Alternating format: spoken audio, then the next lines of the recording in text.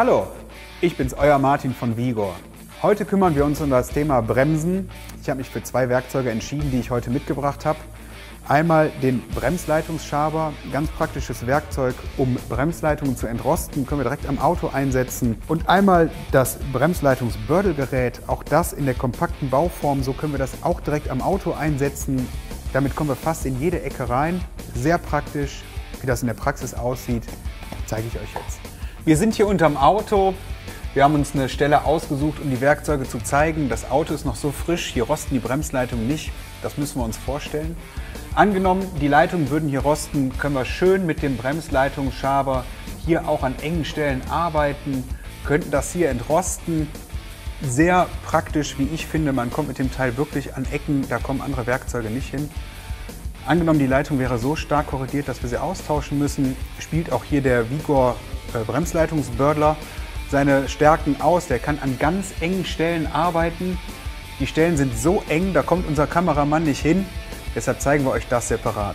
Unterm Auto ist nicht genug Platz, deshalb bördeln wir hier einmal mit dem Bördelgerät unter Laborbedingungen. Das Ganze setzt sich so zusammen. Wir können das Werkzeug jetzt hier vorne den Schiebbegrenzer einschrauben. Durch die Bohrung sehen wir auch genau, bis zum Strich ist jetzt der Anschlag. Die Bremsleitung abgeschnitten führen wir von hinten in das Werkzeug ein.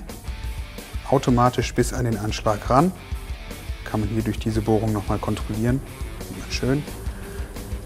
Jetzt werden die Schrauben hier angezogen. Schön gleichmäßig.